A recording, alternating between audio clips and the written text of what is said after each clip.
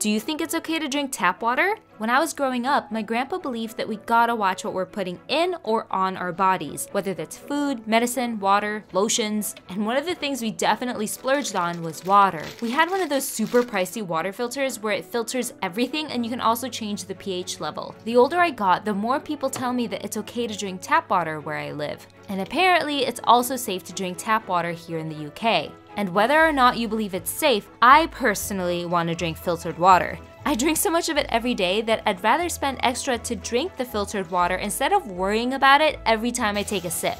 Do these pitcher filters work well? I don't know, but for me it's definitely a mind thing at this point. What about you?